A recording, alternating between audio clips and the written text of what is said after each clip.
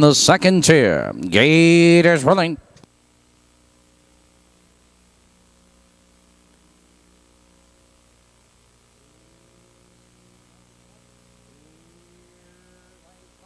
Here they come.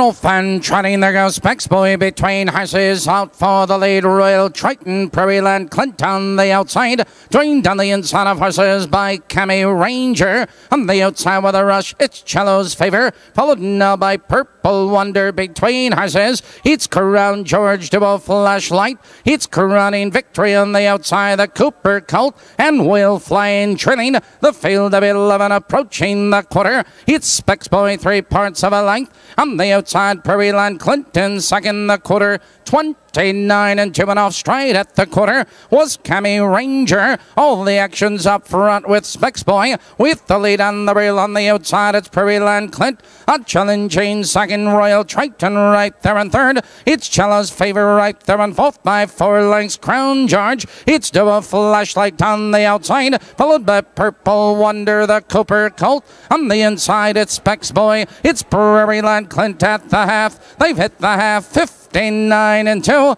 into the clubhouse turn the race on. Specs Boy has the lead on the real three parts of a length on the outside of horses Prairie Land Clint a challenging second Royal Triton. He's right there in third two lengths Cello's favor it's a gap to Crown George Double Flashlight. On the outside the Cooper Colt Purple Wonder. On the outside it's Will Flying and Cami Ranger. They race up the back stretch and Specs Boy. Draws clear to lead now by four lengths as Royal Triton charges and a second down the inside. It's Prairie Land Clinton third. Here comes Dual Flashlight. Here comes a whale flying from far back. But around the turn, your leader Specs Boy he opens up the lead with every stride. Here they come trotting for home. It's Specs Boy with the lead. On the outside, it's Dual Flashlight. On the far outside, that's Will flying. It's Specs Boy with the lead. On the inside, it's Dual Flashlight. It's Will flying and Cello's favor. It's Specs Boy at the wire.